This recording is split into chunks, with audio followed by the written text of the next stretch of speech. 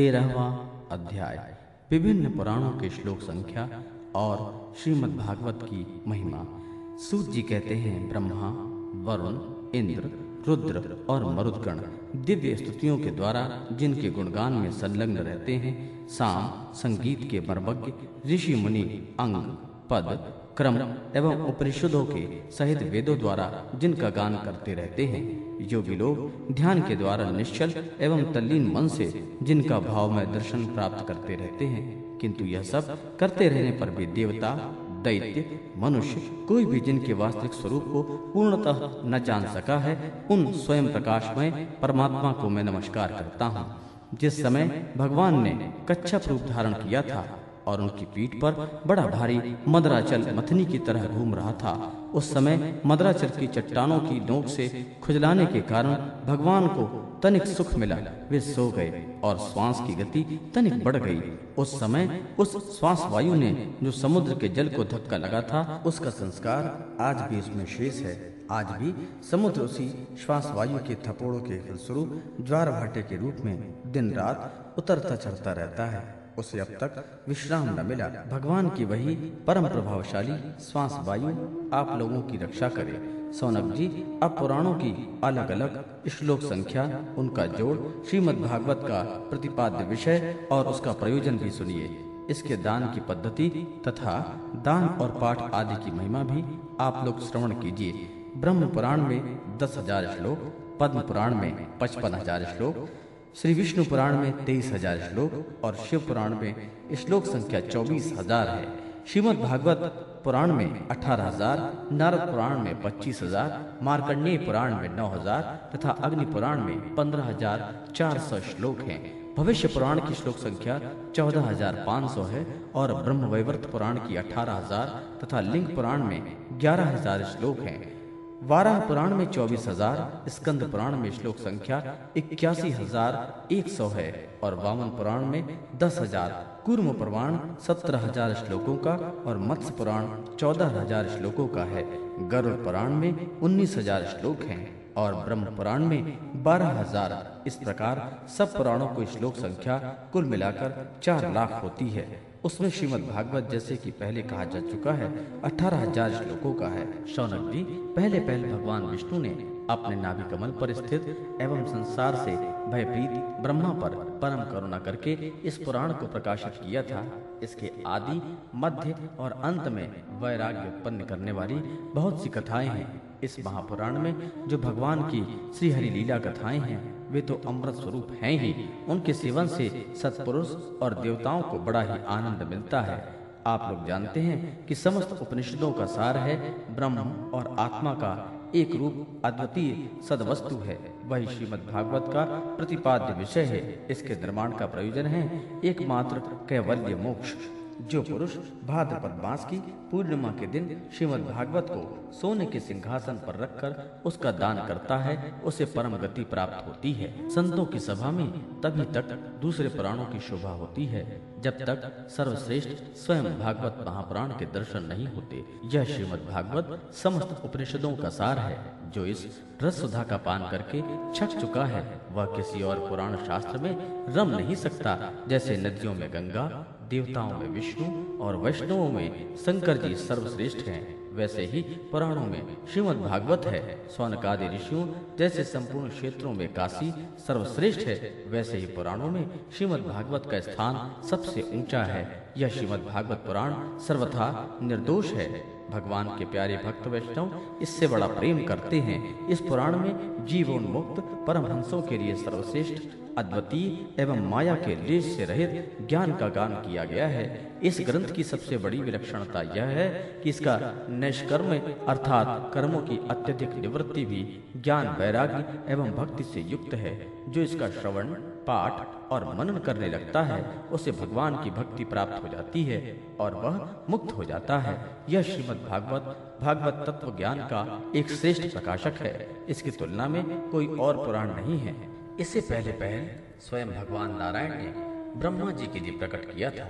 फिर उन्होंने ही ब्रह्मा जी के रूप में देवर्षि नारद को उपदेश किया था और नारद जी के रूप में भगवान कृष्ण द्वैपायन व्यास को तदनंतर उन्होंने ही व्यास रूप से अत्यंत करुणावश राजर्षि परीक्षित को उपदेश किया वे भगवान परम शुद्ध एवं मायामल से रहित हैं। शोक और मृत्यु उनके पास तक नहीं भटक सकते। हम सब उन्हीं परम स्वरूप, परमेश्वर का ध्यान करते हैं। हम उन सर्व साक्षी भगवान वासुदेव को नमस्कार करते हैं, जिन्होंने कृपा करके मोक्षाभिलाषी ब्रह्मा जी को इस श्रीमद भागवत पुराण का उपदेश किया था। साथ ही हम उन योगीराज ब्रह्म स्वरूप श्री सुखदेव जी को भी नमस्कार करते हैं, जिन्होंने श्रीमद भागवत महापुराण सुनाकर संसार सर्प से डसे हुए राजा परीक्षित को मुक्त करा दिया। देवताओं के आराध्य देव, सर्वेश्वर, आप ही हमारे एकमात्र स्वामी एवं सर्वस्व हैं। आप ऐसी कृपा कीजिए कि बार बार जन्म ग्रहण करते रहने पर भी आपके चरण कमलों में हमारी अविचल भक्ति बनी रहे, जिन भगवान के नामों का संकीर्तन सारे पापों को सर्वथा नष्ट कर देना है और जिन भगवान के चरणों में आत्मसमर्पण करके चरणों में प्रणति सदा के लिए सब प्रकार के दुखों को शांत कर देती है, उन्हीं परमात्मा स्वरूप श्री हरि को मैं नमस्कार करता हूँ। ओम नमो भगवते वासुदेवाय। श्रीमद् भागवत का महत्व, पहला अध्याय, परीक्षित और बज्रनाभ का समागम, शांडिल्य मुनि के मुख से भगवान की लीला के रहस्य और ब्रजभूमि के महत्व का वर्णन। महर्षि व्यास कहते हैं, जिनका स्वरूप है सच्चिदानंद घन, जो अपने सौंदर्य और माधुर्यादि गुणों से सबका मन अपनी ओर आकर्षित कर लेते हैं और सदा सर्वदा अनंत सुख की वर्षा करते हैं, जिनकी ही शक्ति से इस विश्व की उत्पत्ति, स्थिति और प्रलय होते हैं। उन भगवान श्री कृष्ण को हम भक्ति रस का आस्वादन करने के लिए नित्य निरंतर प्रणाम करते हैं। नैमिषारण्य क्षेत्र में सूत जी स्वस्थ चित्त से अपने आसन पर बैठे हुए थे। उस समय भगवान की अमृतमय लीला कथा के रसिक, उनके रसास्वादन में अत्यंत कुशल सौनकादि ऋषियों ने सूत जी को प्रणाम करके उनसे यह प्रश्न किया। ऋषियों ने पूछा सूत जी धर्मराज युधिष्ठिर जब श्री मथुरा मंडल में अनिरुद्ध नंदन ब्रज का और हस्तिनापुर में अपने पौत्र परीक्षित का राज्याभिषेक करके हिमालय पर चले गए। तब राजा वज्र और परीक्षित ने कैसे कैसे कौन कौन सा कार्य किया? सूत जी ने कहा, भगवान नारायण, नरोत्तम नर, देवी सरस्वती और महर्षि व्यास को नमस्कार करके शुद्ध चित्त होकर भगवत तत्व को प्रकाशित करने वाले इतिहास पुराण रूप जय का उच्चारण करना चाहिए। शौनकादि ब्रह्म ऋषियों जब धर्मराज युधिष्ठिर आदि पांडव गण स्वर्गारोहण के लिए हिमालय चले गए, तब सम्राट परीक्षित एक दिन मथुरा गए। उनकी यात्रा का उद्देश्य इतना ही था कि वहाँ चलकर ब्रजनाभ से मिले, मिलजुल कर आए। तब ब्रजनाभ को यह समाचार मालूम हुआ कि मेरे पिता तुल्य परीक्षित मुझसे मिलने के लिए आ रहे हैं। तब उनका हृदय प्रेम से भर गया।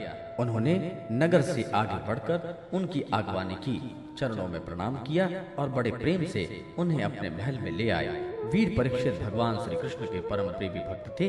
उनका मन नित्य निरंतर आनंद घन श्री कृष्ण चंद्र में ही रमता था। उन्होंने भगवान श्री कृष्ण के प्रपौत्र ब्रजनाभ का बड़े प्रेम से ही आलिंगन किया। इसके बाद अंतापुर में जाकर के भगवान श्री कृष्ण की रोहिणी आदि पत्नियों को नमस्कार किया। रोहिणी आदि श्री कृष्ण पत्नियों ने भी सम्राट परीक्षित का अत्यंत सम्मान किया।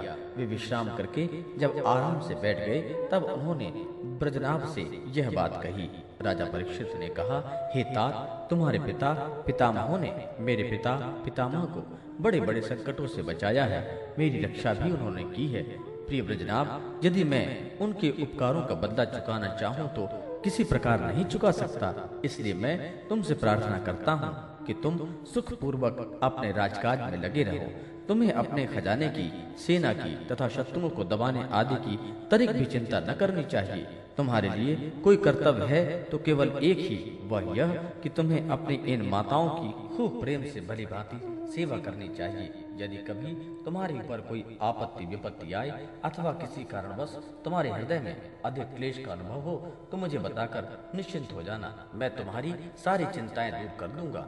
सम्राट परीक्षित की यह बात सुनकर ब्रजनाभ को बड़ी प्रसन्नता हुई। उसने राजा परीक्षित से कहा, ब्रजनाभ ने कहा, महाराज आप जो कुछ कह रहे हैं, वह सर्वथा आपके अनुरूप है।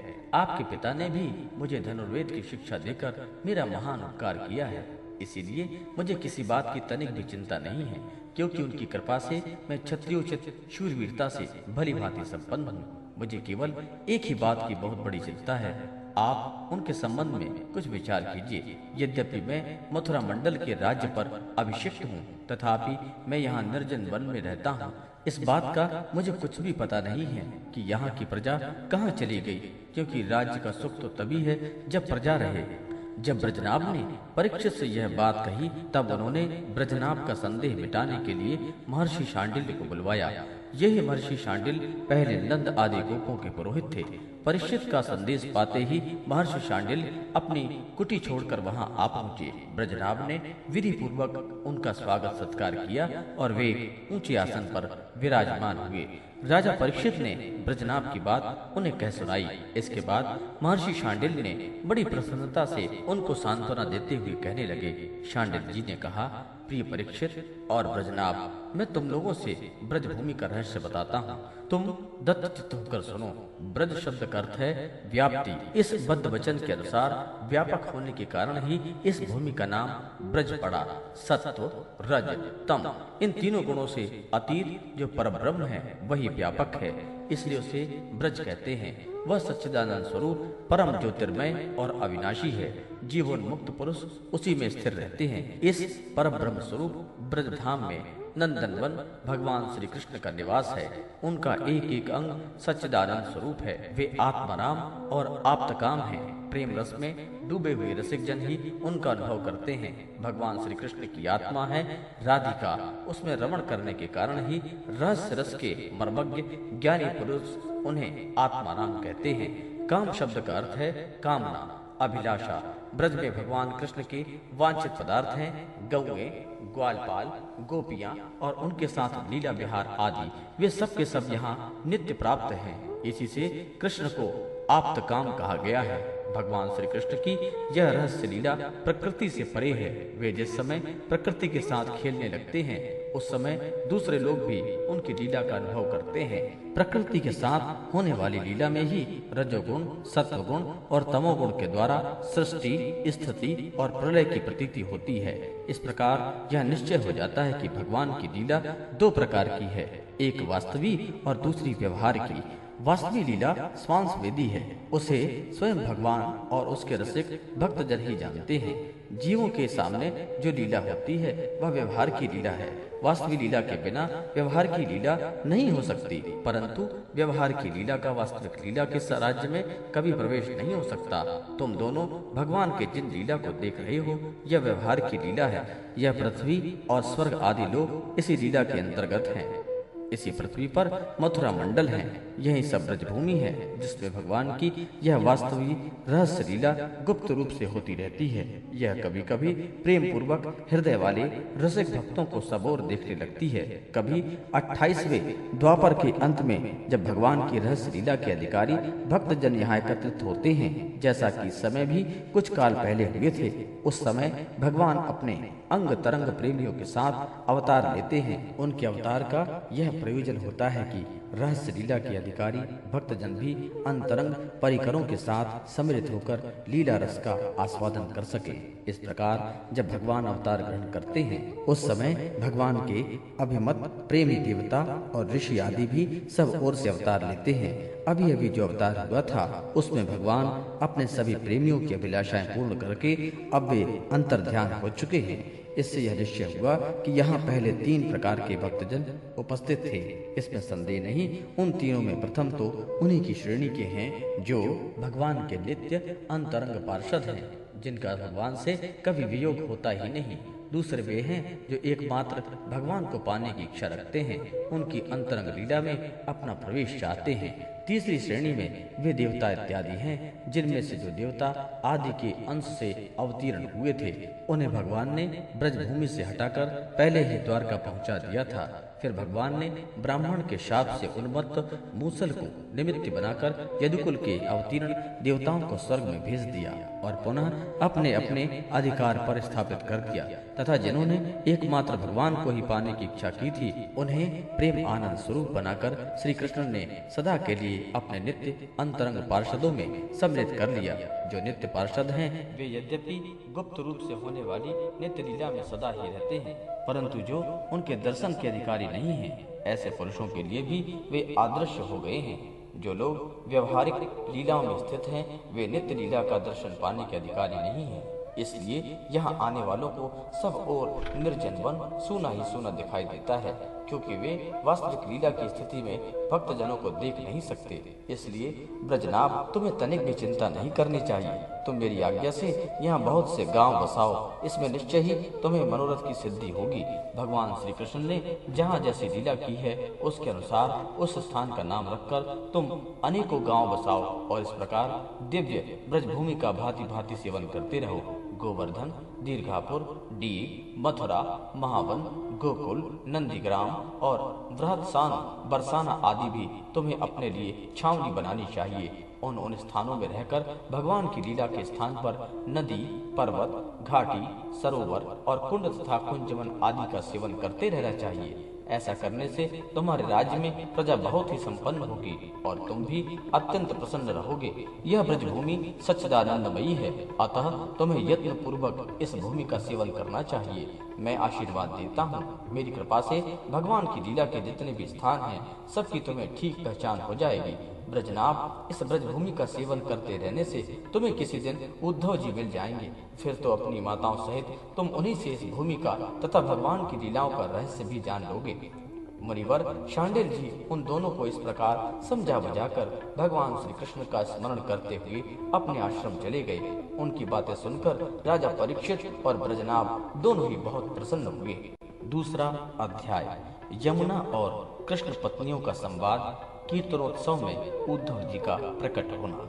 ऋषियों ने पूछा, सूर्य जी, अब यह बतलाइए कि परीक्षित और बद्रीनाथ को इस प्रकार आदेश देकर जब शांडिल मुनि अपने आश्रम को लौट गए, तब उन दोनों राजाओं ने कैसे कैसे और कौन कौन सा काम किया? सूर्य जी कहने लगे, तदनंतर महाराजा परीक्षित ने इंद्रप्रस्थ में हज़ारों बड़े बड़े सेठों को बुलवाकर मथुरा में रहने की जगह दी। इसके अतिरिक्त सम्राट परीक्षित ने मथुरा मंडल से ब्राह्मणों तथा प्राचीन वानरों को, जो भगवान के बड़े ही प्रेमी थे, बुलवाया और उन्हें आदर के साथ योग्य समझकर मथुरा नगरी में बसाया। इस प्रकार से राजा परीक्षित की सहायता और महर्षि शांडिल की कृपा से ब्रजनाम ने क्रमशः उन सभी स्थानों की खोज की, जहाँ भगवान कृष्ण ने अपने गो प्रेमियों के साथ नाना प्रकार की लीलाएँ की थी। लीला स्थानों का ठीक ठीक निश्चय हो जाने पर उन्होंने वहाँ वहाँ की लीला के अनुसार उस उस स्थान का नामकरण किया। भगवान के लीला विग्रहों की स्थापना की तथा उन उन स्थानों पर अनेकों गाँव बसाए। स्थान स्थान पर भगवान के नाम के कुंड और कुएँ खुदवाए, कुंज और बगीचे लगवाए, शिव आदि देवताओं की स्थापना की। गोविंद देव, हरिदेव आदि नामों से भगवत ग्रह स्थापित किए गए। इन सब शुभ कर्मों के द्वारा ब्रजनाभ ने अपने राज्य में सब और एकमात्र श्री कृष्ण भक्त का प्रचार किया और बड़े ही आनंदित हुए। उनके प्रजाजनों को भी बड़ा आनंद आता था। वे सदा भगवान के मधुर नाम तथा लीलाओं के कीर्तन में ही संलग्न हो परमात्मा के समुद्र में डूबे रहते और वे सदा ही ब्रजनाभ के राज्य में प्रशंसा किया करते थे।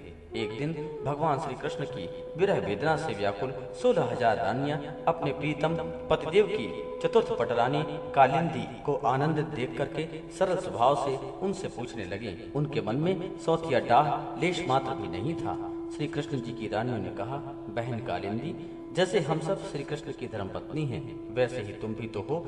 हम तो उनकी विराग्नि में जल रही हैं। उनके वियोग दुख से हमारा हृदय व्यथित हो रहा है। किंतु तुम्हारी यह स्थिति नहीं है। तुम प्रसन्न हो। इसका क्या कारण है? कल्याणी, कुछ बताओ तो सही। उनका यह प्रश्न सुनकर यमुना जी हंस पड़ी। साथ ही यह सोचकर कि मेरे प्रियतम की पत्नी होने के कारण ये भी मेरी बहनें हैं, पिघल गई। उनका हृदय दया से द्रवित हो उठा। अतः वे इस प्रकार कहने लगे, यमुना जी ने कहा, अपनी आत्मा में ही रमण करने के कारण भगवान श्री कृष्ण आत्मा राम है और उनकी आत्मा है श्री राधा जी। मैं दासियों की भांति राधा जी की सेवा करती रहती हूँ। उनकी सेवा का यह प्रभाव है कि विरह हमारा स्पर्श नहीं कर सका। भगवान श्री कृष्ण की जितनी भी रानियाँ हैं, वे सब की सब श्री राधा जी के ही अंश का विस्तार हैं। भगवान श्री कृष्ण और सदा सदा एक दूसरे के सन्मुख हैं। उनका परस्पर नित्य संयोग है। इसलिए राधा के स्वरूप में अंशतः विद्यमान जो श्री कृष्ण की अन्य रानियाँ हैं, उनकी भी भगवान का नित्य संयोग प्राप्त होता है। श्री कृष्ण ही राधा है और राधा ही श्री कृष्ण उन दोनों का प्रेम ही वंशी है तथा राधा की प्यारी सखी चंद्रावली भी श्री कृष्ण चरणों के नख रूपी चंद्रमा की सेवा में आसक्त रहने के कारण ही चंद्रावली नाम से कही जाती है। श्री राधा और श्री कृष्ण की सेवा में उसकी बड़ी लालसा, बड़ी लगन है, इसलिए वह कोई दूसरा स्वरूप धारण नहीं करती। मैंने यही श्री राधा में ही रुक्मणी आदि का समावेश देखा है। तुम लोगों का भी सर्वांश में श्री कृष्ण के साथ वियोग नहीं हुआ। किंतु तुम इस रहस्य को इस रूप में जानती ही नहीं हो, इसलिए इतनी व्याकुल हो रही हो। इसी प्रकार पहले भी जब अक्रूर श्री कृष्ण को नंद गाँव से मथुरा ले गए थे, उस अवसर पर जो गोपियाँ श्री कृष्ण के विरह में प्रतीत हुई थी, वह भी वास्तविक विरह नहीं था, केवल विरह का आभास था। इस बात को जब वे नहीं जान सकती थी, तब उन्हें बड़ा कष्ट हुआ था। पर जब उद्धव जी ने आकर उनका समाधान किया, तब वे इस बात को समझ सकी। यदि तुम्हें भी उद्धव जी का सत्संग प्राप्त हो जाए तो तुम भी अपने प्रीतम श्री कृष्ण के साथ नित्य विरह का सुख प्राप्त कर लोगी। सूत जी कहते हैं, ऋषिगण, जब उन्होंने इस प्रकार समझाया, तब श्री कृष्ण की पत्नियाँ सदा प्रसन्न रहने वाली यमुना जी से पुनः बोली। उस समय उनके हृदय में इस बात की बड़ी लालसा थी कि किसी उपाय से उद्धव जी का दर्शन हो जाए, जिससे हमें अपने प्रीतम के नित्य संयोग का सौभाग्य प्राप्त हो सके। श्री कृष्ण की पत्नियों ने कहा, सखी, तुम्हारा ही जीवन धन्य है। क्योंकि तुमने कभी भी अपने प्राणनाथ के वियोग का दुख नहीं भोगना पड़ा। जिन श्री राधा जी की कृपा से तुम्हारे अभिष्ट अर्थ की सिद्धि हुई है, उनकी अब हम लोग भी दासी हुई। किंतु तुम अभी कह चुकी हो कि उद्धव जी के मिलने पर ही हमारे सभी मनोरथ पूर्ण हो जाएँगे। इसलिए कालिंदी, अब ऐसा कोई उपाय बताओ जिससे उद्धव जी शीघ्र ही मिल जाएँ। सूत जी कहते हैं श्री कृष्ण की रानियों ने जब यमुना जी से इस प्रकार कहा, तब वे भगवान श्री कृष्ण चंद्र जी की सोलह कलाओं का चिंतन करती हुई उनसे कहने लगी, जब भगवान श्री कृष्ण अपने परम धाम को पधारने लगे, तब उन्होंने अपने मंत्री उद्धव से कहा, उद्धव, साधना करने की भूमि है, बद्रिकाश्रम। अतः अपनी साधना पूर्ण करने के लिए तुम वहाँ जाओ। भगवान की इस आज्ञा के अनुसार उद्धव जी इस समय अपने साक्षात स्वरूप से बद्रिकाश्रम में विराजमान हैं। और वहाँ जाने वाले जिज्ञासु लोगों को भगवान के बताए हुए ज्ञान का उपदेश करते रहते हैं। साधन की फल स्वरूपा भूमि है। ब्रज भूमि इसे भी इसके रहस्यों सहित भगवान ने पहले ही उद्धव को दे दिया था। किंतु वह फल भूमि यहाँ से भगवान के अंतर ध्यान होने के साथ ही स्थूल दृष्टि से परे जा चुकी है। इसलिए इस समय वहाँ उद्धव प्रत्यक्ष दिखाई नहीं पड़ रहे हैं। फिर भी एक स्थान है जहाँ उद्धव जी का दर्शन हो सकता है। गोवर्धन पर्वत के निकट भगवान की लीला सहचारी गोपियों का विरह स्थली है। वहाँ की लता, अंकुर और बेरों के रूप में अवश्य ही उद्धव जी वहाँ निवास करते हैं। लताओं के रूप में उनके रहने का यही उद्देश्य है कि भगवान की प्रियतमा गोपियों की रज चरण उन पर पड़ती रहे। उद्धव जी के संबंध में एक निश्चित बात यह भी है कि उन्हें भगवान ने अपना उत्सव स्वरूप प्रदान किया है। भगवान का उत्सव उद्धव जी का अंग है। वे उससे अलग नहीं कर सकते। इसलिए अब तुम लोग ब्रजनाभ को साथ लेकर वहाँ जाओ और कुसुम सरोवर के पास ठहरो। भगवत भक्तों की मंडली एकत्र करके वीणा, वेणु, मृदंग आदि बजा के साथ भगवान के नाम और लीलाओं का संकीर्तन, भगवत संबंधी काव्य गाथाओं के श्रवण तथा भगवत गुणगान से युक्त सरस संगीत द्वारा महान उत्सव आरंभ करो। इस प्रकार जब उस महान उत्सव का विस्तार होगा, तब निश्चय ही वहाँ उद्धव जी का दर्शन मिलेगा। वे ही भरी भांति तुम सब लोगों के मनोरथ पूर्ण करेंगे। सूत जी कहते हैं, यमुना जी की बताई हुई बातें सुनकर कृष्ण जी की रानियाँ बहुत प्रसन्न हुईं। उन्होंने यमुना जी को प्रणाम किया और वहाँ से लौटकर ब्रजनाभ तथा परीक्षित से वे सारी बातें कह सुनाई। तब सब बातें सुनकर परीक्षित को बड़ी प्रसन्नता हुई और उन्होंने ब्रजनाभ तथा श्री कृष्ण पत्नियों को उसी समय साथ में लेकर उस स्थान पर पहुंचकर तत्काल वहाँ वह सब कार्य करना आरंभ करवा दिया, जो कि यमुना जी ने बताया था। गोवर्धन के निकट वृंदावन के भीतर सुकुमार सरोवर पर जो सखियों की विरह स्थली है, वहाँ ही श्री कृष्ण कीर्तन का उत्सव आरंभ हुआ। वृषभानुनंदिनी श्री राधा जी तथा उनके प्रीतम श्री कृष्ण की वह लीला भूमि जब साक्षात संकीर्तन की शोभा से संपन्न हो गई, उस समय वहाँ रहने वाले सभी भक्तजन एकाग्र हो गए। उनकी दृष्टि, उनके मन की वृत्ति कहीं अन्यत्र न जाती थी। तदनंतर सबको देखते देखते वहाँ फैले हुए तृण गुल्म और लताओं के समूह से प्रकट होकर उद्धव जी सबके सामने आए। उनका श्याम वर्ण था, उस पर पीताम्बर शोभा पा रहा था। वे गले में वनमाला और गुंजा की माला धारण किए हुए थे, तथा मुख से बारंबार गोपी बल्लभ श्री कृष्ण की मधुर लीलाओं का गान कर रहे थे। उद्धव जी के आगमन से संकीर्तनोत्सव की शोभा कई गुनी बढ़ गई। जैसे इस स्फटिक मणि की बनी हुई अट्टालिका की छत पर चांदनी छिटकने से उसकी शोभा बहुत बढ़ जाती है। उस समय सभी लोग आनंद के समुद्र में निमग्न हो गए।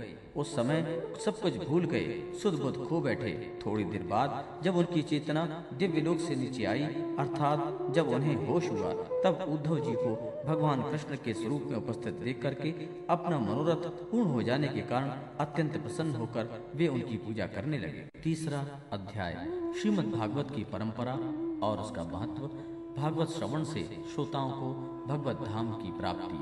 सूर्य जी कहते हैं, उद्धव जी ने वहाँ एकत्र हुए सभी लोगों को कृष्ण संकीर्तन में लगा देखकर सभी का सत्कार किया और राजा परीक्षित को हृदय से लगाकर कहा उद्धव जी ने कहा, राजन, आप धन्य हैं। एकमात्र श्री कृष्ण की भक्ति से ही परिपूर्ण है, क्योंकि श्री कृष्ण संकीर्तन से महोत्सव में तुम्हारा हृदय इस प्रकार निमग्न हो रहा है।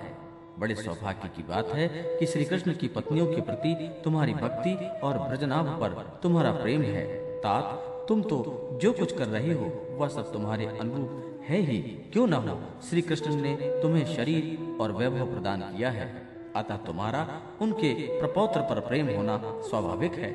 इसमें तनिक भी संदेह नहीं है कि समस्त द्वारका वासियों में ये लोग सबसे बढ़कर धन्य हैं, जिन्होंने ब्रज में निवास कराने के लिए भगवान श्री कृष्ण ने अर्जुन को आज्ञा दी थी।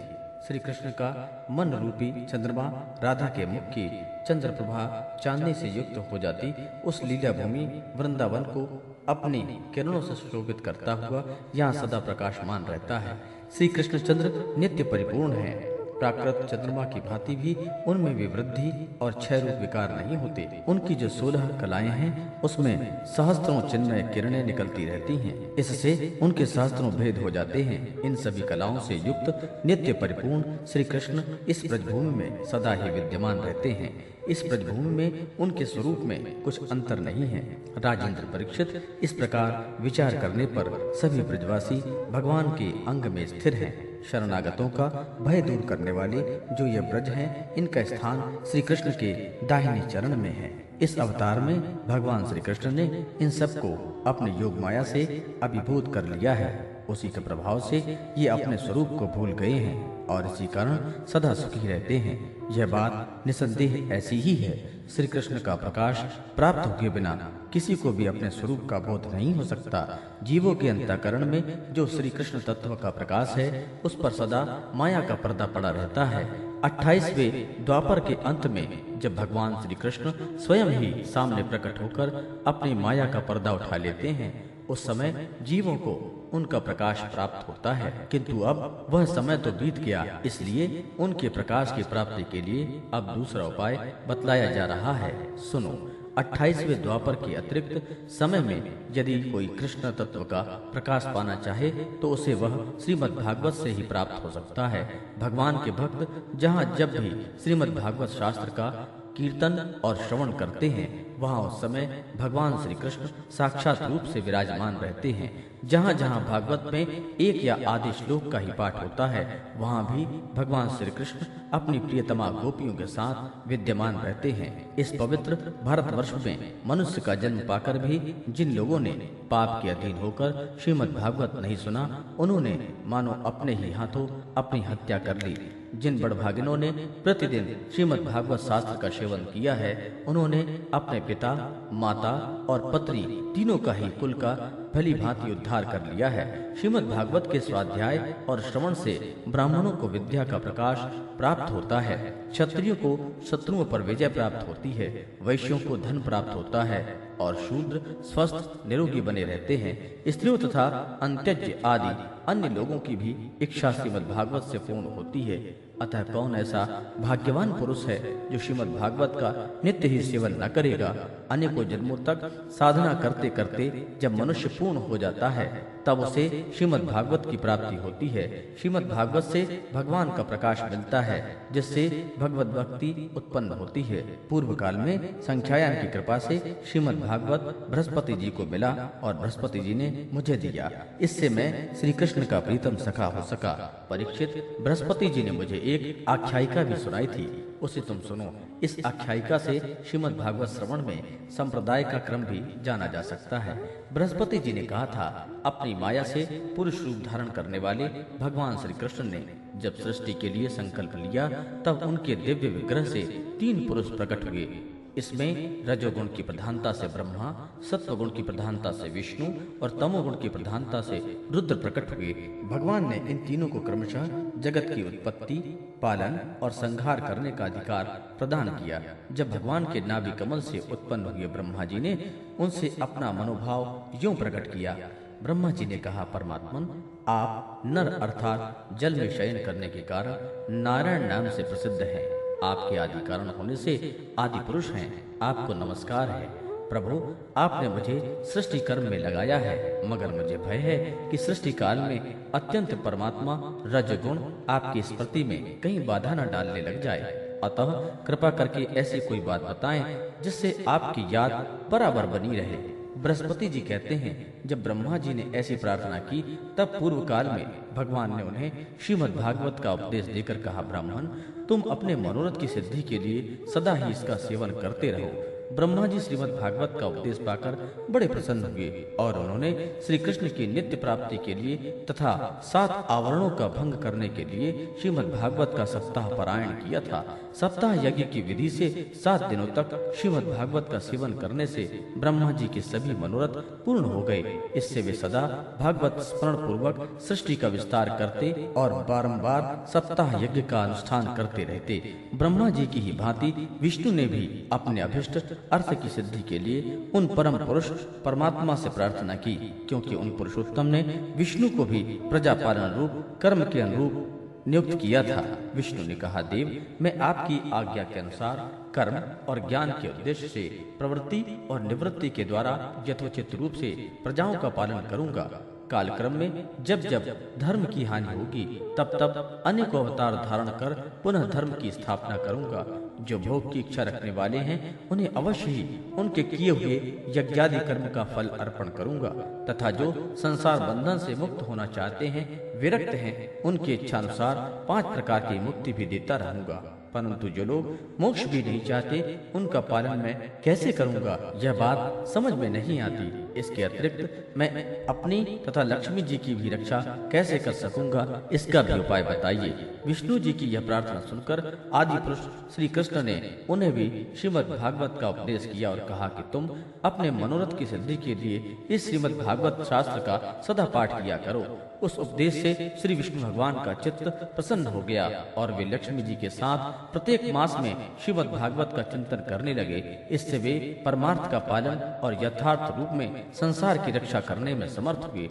जब भगवान विष्णु स्वयं वक्ता होते हैं और लक्ष्मी जी प्रेम से श्रवण करती हैं, उस समय प्रत्येक बार भागवत कथा का श्रवण एक मास में ही समाप्त हो जाता है। किंतु जब लक्ष्मी जी स्वयं वक्ता होती हैं और विष्णु भगवान श्रोता बनकर सुनते हैं, तब भगवत कथा का रसास्वादन तो दो मास तक होता रहता है। उस समय कथा बड़ी सुंदर, बहुत ही रुचिकर होती है। इसका कारण यह कि विष्णु तो अधिकारुण है और उन्हें जगत के पालन की चिंता रहती है परंतु लक्ष्मी जी इस झंझट से अलग हैं। अतः उनका हृदय निश्चिंत है। इसी से लक्ष्मी जी के मुख से श्रीमद भागवत कथा का रसास्वादन अधिक प्रकाशित होता है। इसके पश्चात रुद्र ने भी, जिन्हें भगवान ने पहले संघार कार्य में लगाया था, अपने सामर्थ्य वृद्धि के लिए उन परम पुरुष भगवान श्री कृष्ण से प्रार्थना की। रुद्र ने कहा, मेरे प्रभु देव देव मुझे नित्य, नैमित्तिक और प्राकृतिक संघार की शक्तियाँ तो हैं, पर अत्यांतिक संघार की शक्तियाँ बिल्कुल नहीं है। यह मेरे लिए बड़े दुख की बात है। इसी कमी की पूर्ति के लिए मैं आपसे प्रार्थना करता हूँ। बृहस्पति जी कहते हैं, रुद्र की प्रार्थना सुनकर नारायण ने भी उन्हें श्रीमद भागवत की कथा करने का उपदेश किया। सदाशिव रुद्र ने एक वर्ष में एक मास पारायण के क्रम से भागवत कथा का सेवन किया। इसके सेवन से उन्होंने तमोगुण पर विजय पाई और अत्यांतिक संघार मोक्ष की शक्ति को भी प्राप्त कर लिया। उद्धव जी कहते हैं, श्रीमद् भागवत के महत्व के संबंध में यह आख्यायिका मैंने अपने गुरु श्री बृहस्पति जी से सुनी। और उनसे भागवत का उपदेश प्राप्त करके, उनके चरणों में प्रणाम करके मैं बहुत ही आनंदित हुआ। तत्पश्चात भगवान विष्णु की रीति स्वीकार करके मैंने भी एक मास तक श्रीमद भागवत कथा का भली भांति रसास्वादन किया। उतने ही में मैं भगवान श्री कृष्ण का प्रीतम सखा हो गया। इसके पश्चात भगवान ने मुझे ब्रज में अपनी प्रियतमा गोपियों के सेवा में नियुक्त किया। यद्यपि भगवान अपने लीला परिकरों के साथ नित्य विरह करते रहते हैं इसलिए गोपियों का श्री कृष्ण से कभी भी वियोग नहीं होता। तथापि जो ब्रह्म में विरह वेदना का अनुभव कर रही थीं, उन गोपियों के प्रति भगवान ने मेरे मुख से भागवत का संदेश कहलवाया। उस संदेश को अपनी बुद्धि के अनुसार ग्रहण कर गोपियाँ तुरंत ही विरह वेदना से मुक्त हो गईं। मैं भगवान के इस रहस्य को तो नहीं समझ सका किंतु मैंने उसका चमत्कार प्रत्यक्ष देखा है। इसके बहुत समय के बाद जब ब्रह्मादि देवता आकर भगवान से अपने परम धाम में पधारने की प्रार्थना करके चले गए। उस समय पीपल के वृक्ष की जड़ के पास अपने सामने खड़े हुए मुझे भगवान ने श्रीमद भागवत विषयक उस रहस्य का स्वयं ही उपदेश किया और मेरी बुद्धि में उसका दृढ़ निश्चय करा दिया। उसी के प्रभाव से मैं बद्रिकाश्रम में रहकर भी यहाँ ब्रज की लताओं और बेलों में निवास करता हूँ। उसी के बल से यहाँ नारद कुंड पर सदा स्वेच्छानुसार विराजमान करता हूँ। भगवान के भक्तों को श्रीमद भगवत के सेवन से कृष्ण तत्व का प्रकाश प्राप्त हो जाता है। इस कारण जहाँ उपस्थित हुए इन सभी भक्तजनों के कार्य की सिद्धि के लिए मैं श्रीमद भागवत का पाठ करूँगा। किंतु इस कार्य में तुम्हें भी सहायता करनी पड़ेगी। सूर्य जी कहते हैं, यह सुनकर राजा परीक्षित उद्धव जी को प्रणाम करके उनसे बोले, परीक्षित ने कहा, हरिदास उद्धव जी, आप निश्चिंत होकर श्रीमद भागवत कथा का कीर्तन करें। इस कार्य में मुझे जिस प्रकार की सहायता करनी आवश्यक हो, उसके लिए आज्ञा दें। सूत जी कहते हैं परीक्षित का यह वचन सुनकर उद्धव जी मन ही मन बहुत प्रसन्न हुए और बोले, उद्धव जी ने कहा, राजन, भगवान श्री कृष्ण ने जब से इस पृथ्वी तल का परित्याग कर दिया है, तब से यहाँ अत्यंत बलवान कलयुग का प्रभुत्व हो गया है। जिस समय यह शुभ अनुष्ठान यहाँ आरंभ हो जाएगा, बलवान कलयुग अवश्य ही इसमें बहुत बड़ा विघ्न डालेगा। इसलिए तुम दिग्विजय के लिए जाओ और कलयुग को जीतकर अपने वश में करो। इधर मैं तुम्हारी सहायता से वैष्णवी रीति का सहारा लेकर एक महीने तक यहाँ श्रीमद भागवत का रसास्वादन कराऊँगा और इस प्रकार भागवत कथा के रस का प्रवाह करके इन सभी श्रोताओं को भगवान मधुसूदन के नित्य गोलोक धाम में पहुंचाऊँगा। सूत जी कहते हैं कि उद्धव जी की बात सुनकर राजा परीक्षित पहले तो कलयुग पर विजय प्राप्त करने के विचार से बड़े ही प्रसन्न हुए। परंतु पीछे यह सोच करके मुझे भागवत कथा के श्रवण से वंचित ही रहना पड़ेगा, चिंता से व्याकुल उठे। उस समय उन्होंने उद्धव जी से अपना अभिप्राय इस प्रकार प्रकट किया। राजा परीक्षित ने कहा, हे तात आपकी आज्ञा के अनुसार तत्पर होकर मैं कलयुग को तो अवश्य ही अपने वश में करूँगा, मगर श्रीमद भागवत की प्राप्ति मुझे कैसे होगी? मैं भी आपके चरणों की शरण में आया हूँ, अतः मुझ पर भी आपको अनुग्रह करना चाहिए। सूर्य जी कहते हैं, उसके इस वचन को सुनकर उद्धव जी पुनः बोले। उद्धव जी ने कहा, राजन, तुम्हें तो किसी भी बात के लिए किसी भी प्रकार की चिंता नहीं करनी चाहिए। क्योंकि इस भागवत शास्त्र के प्रधान अधिकारी तो तुम ही हो। संसार के मनुष्य नाना प्रकार के कर्मों में रचे पचे हुए हैं। ये लोग आज तक प्रायः भागवत श्रवण की बात भी नहीं जानते। तुम्हारे ही प्रसाद से इस भारतवर्ष में रहने वाले अधिकांश मनुष्य श्रीमद भागवत की प्राप्ति होने पर शाश्वत सुख प्राप्त कर सकेंगे। महर्षि भगवान सुखदेव जी साक्षात नंद नंदन श्री कृष्ण के स्वरूप हैं। वे ही तुम्हें श्रीमद भागवत की कथा सुनाएँगे। इसमें तनिक भी संदेह की बात नहीं है। राजन, उस कथा के श्रवण से तुम ब्रजेश्वर श्री कृष्ण के नित्य धाम को प्राप्त करोगे। इसके पश्चात इस पृथ्वी पर श्रीमद भागवत कथा का प्रचार होगा।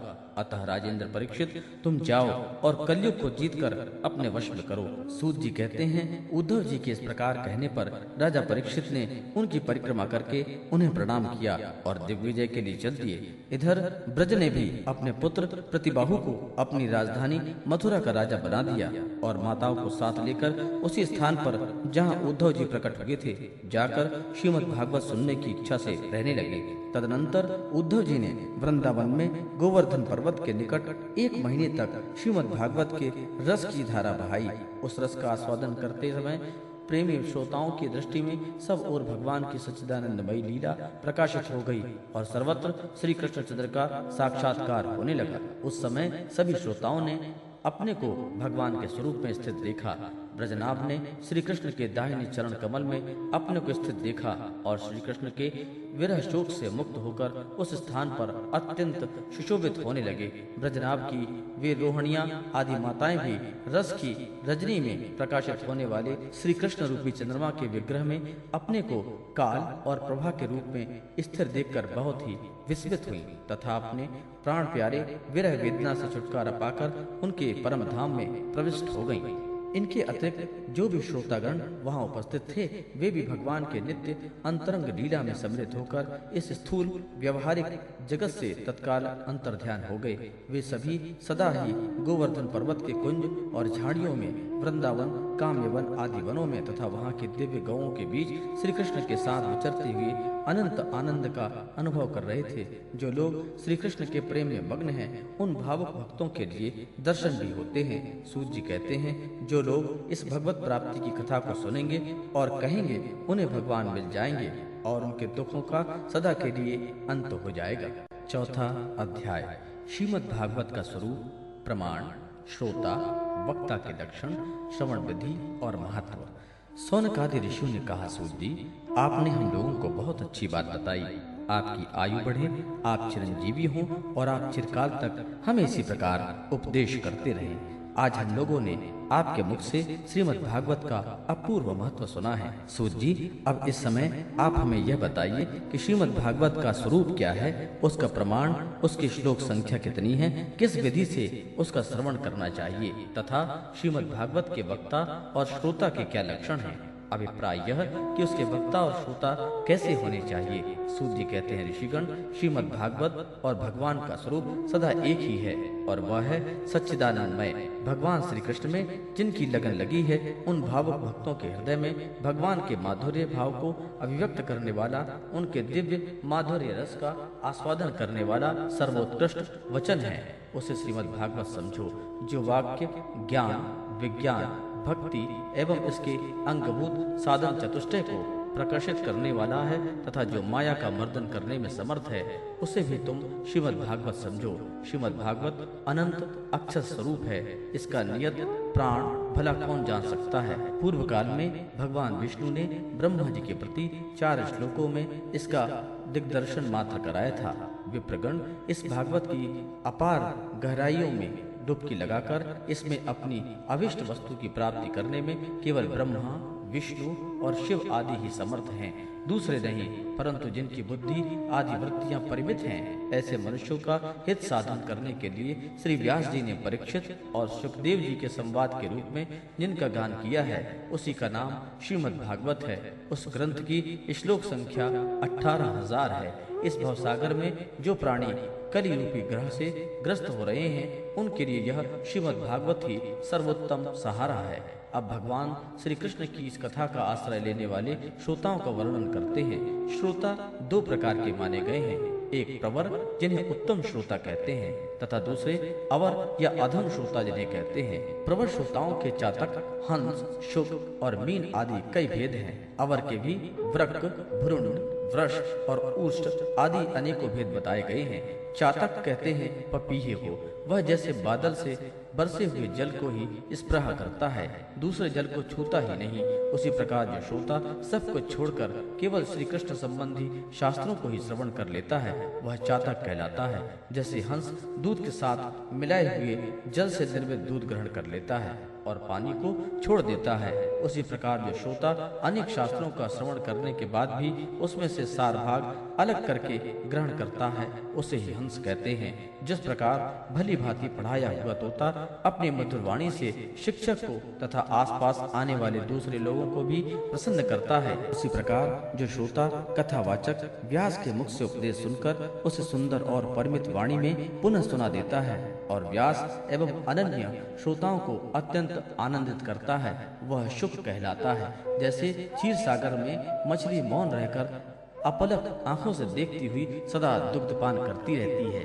उसी प्रकार जो कथा सुनते समय निर्निमेश नयनों से देखता हुआ मुख से कभी एक शब्द भी नहीं निकालता और निरंतर कथा सार का ही आस्वादन करता रहता है, वह प्रेमी श्रोता मीन कहा गया है, ये प्रवर अर्थात उत्तम श्रोताओं के भेद बताए गए हैं। अब अवर, यानी कि अधम श्रोता जो हैं, उनके भेद भी सुने।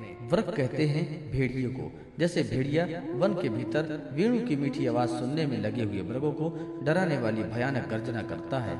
वैसे ही जो मूर्ख कथा श्रवण के समय रसिक श्रोताओं को उद्विग्न करता हुआ बीच बीच में ज़ोर ज़ोर से बोल उठता है, वह व्रक कहलाता है। हिमालय के शिखर पर एक भुरुंड जाति का पक्षी होता है। वह किसी के शिक्षा पद वाक्य सुनकर वैसा ही बोला करता है, किंतु स्वयं उससे लाभ नहीं उठाता। इसी प्रकार से जो उपदेश की बातें सुनकर उसे दूसरों को तो सिखाते हैं, पर स्वयं आचरण में नहीं लाते।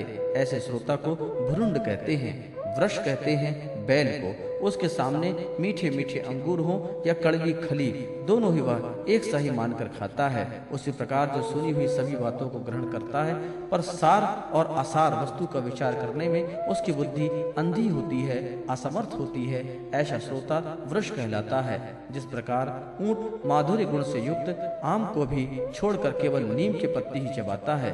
उसी प्रकार भगवान की मधुर कथा को छोड़कर उसके विपरीत सांसारी बातों में ही रमता है, उसे ऊँट कहते हैं। ये लोग थोड़े से भेद यहाँ बताए गए हैं। इसके अतिरिक्त भी प्रवर, अवर, दोनों प्रकार के श्रोताओं में भ्रमर और गधा आदि भी बहुत से भेद हैं। इस प्रकार भेदों में उन उन श्रोताओं के स्वाभाविक आचार विचारों से, व्यवहारों से परखना चाहिए। जो वक्ता के सामने उन्हें विधिवत प्रणाम करके बैठे और अन्य संसारी बातों को छोड़कर केवल श्रीमद भागवत की ही लीला कथाओं को सुनने की इच्छा रखे, समझने की अत्यंत कुशलता हो, नम्र हो, हाथ जोड़कर रहे शिष्य भाव से उपदेश ग्रहण करे और भीतर श्रद्धा तथा विश्वास रखे, इसके सिवाय जो कुछ सुने, उसका बराबर चिंतन करता रहे। जो बात समझ में न आए, पूछे और पवित्र भाव से रहे, तथा श्री कृष्ण के भक्तों पर सदा ही प्रेम रखता हो, ऐसे ही श्रोता को वक्ता लोग उत्तम श्रोता कहते हैं। अब वक्ता के लक्षण बताते हैं, उन्हें भी सुने। जिनका मन सदा भगवान में लगा रहता हो, जिसे किसी भी वस्तु की अपेक्षा ना हो, जो सबका सुहृद और दीनों पर दया करने वाला हो, तथा अनेक युक्तियों से तत्व का बोध करा देने में चतुर हो, उसी वक्ता का मुनि लोग भी सम्मान करते हैं। विप्रगण, अब मैं भारत वर्ष की भूमि पर श्रीमद भागवत कथा का सेवन करने के लिए जो आवश्यक विधि है, उसे बता रहा हूँ। आप लोग सुने। इस विधि के पालन से श्रोता की सुख परंपरा का विस्तार होता है। श्रीमद भागवत का सेवन चार प्रकार का है। सात्विक, राजस, तामस और निर्गुण।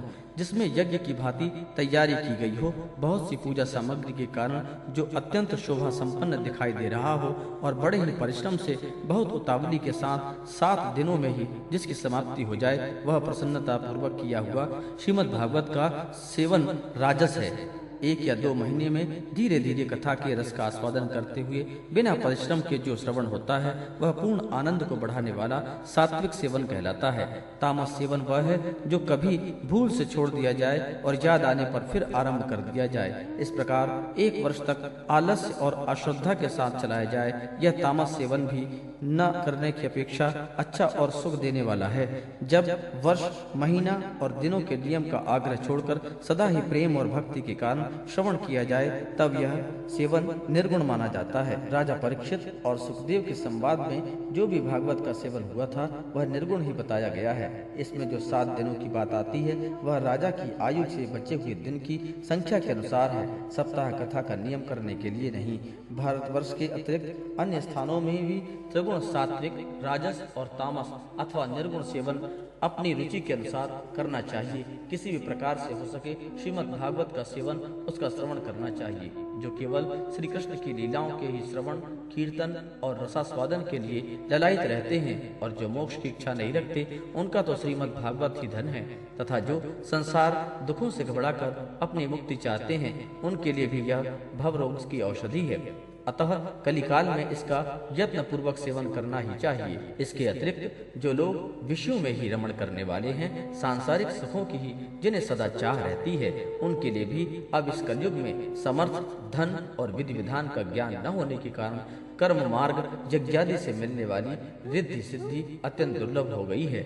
ऐसी दशा में उन्हें भी सब प्रकार से अब इस भागवत कथा का ही सेवन करना चाहिए। यह श्रीमद भागवत की कथा, धन, पुत्र, स्त्री, हाथी, घोड़े आदि, वाहन, यश, मकान और निष्कंटक राज्य भी दे सकती है। सकाम भाव से भागवत का सहारा लेने वाले मनुष्य इस संसार में मनोवांछित उत्तम भोगों को भोग कर अंत में श्रीमद भागवत के संग में ही श्रीहरि परम धाम को प्राप्त होते हैं, जिनकी यहाँ श्रीमद भागवत की कथा वार्ता होती हो तथा जो लोग उस कथा के श्रवण में लगे हों, उनकी सेवा और सहायता अपने शरीर और धन से करनी चाहिए। उन्हीं के अनुग्रह से सहायता करने वाले पुरुष भी भागवत सेवन का पुण्य प्राप्त होता है। कामना दो वस्तुओं की होती है श्री कृष्ण की और धन की। श्री कृष्ण के सिवा जो कुछ भी चाहा जाए, वह सब धन के अंतर्गत है। उसकी धन संज्ञा है, श्रोता और वक्ता भी दो प्रकार के माने गए हैं। एक श्री कृष्ण को चाहने वाले, दूसरे धन को चाहने वाले, जैसा वक्ता हो, वैसा ही श्रोता होना चाहिए। तभी कथा में रस मिलता है, यदि दोनों विपरीत विचार के हों तो रसाभास हो जाता है। अतः फल की हानि होती है। किंतु जो श्री कृष्ण को चाहने वाले भक्त और श्रोता हैं, उन्हें विलम्ब होने पर भी सिद्धि अवश्य मिलती है। पर धनार्थी को तो तभी सिद्धि मिलती है, जब उसके अनुष्ठान का विधि विधान पूरा उतर जाए। श्री कृष्ण की चाह रखने वाला सर्वथा गुणहीन और उसकी विधि से कुछ भी कमी रह जाए तो भी यदि उसके हृदय में प्रेम है तो वही उसके लिए सर्वोत्तम विधि है। सकाम पुरुषों की कथा में समाप्ति के दिन तक स्वयं सावधानी के साथ सभी विधियों का पालन करना चाहिए। भागवत कथा के श्रोता और वक्ता दोनों ही पालन करने योग्य विधि यह है, प्रतिदिन प्रातः काल स्नान करके अपना नित्य कर्म पूरा कर लें। फिर भगवान का चरणामृत पीकर पूजन के समान से श्रीमद भागवत की पुस्तक गुरुदेव, व्यासदेव का पूजन करें। इसके पश्चात अत्यंत प्रसन्नता पूर्वक श्रीमद भागवत की कथा स्वयं कहें अथवा सुने। दूध या खीर का भोजन मौन करके करें। नित्य ब्रह्मचर्य का पालन और भूमि पर शयन करें।